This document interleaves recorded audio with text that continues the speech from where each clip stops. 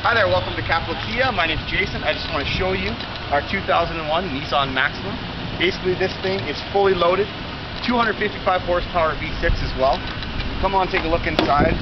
You've got power windows, power locks, power mirrors, heated seats, CD player, cassette player, climate control, steering wheel mounted cruise control, and everything you need.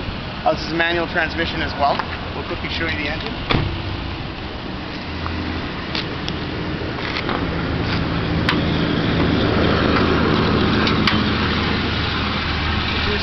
Uh, 3.0 liter V6 engine. Very, very fast. A lot of horsepower, like I said, 255 horsepower. This will be come on in, take it for a test drive. A lot of fun.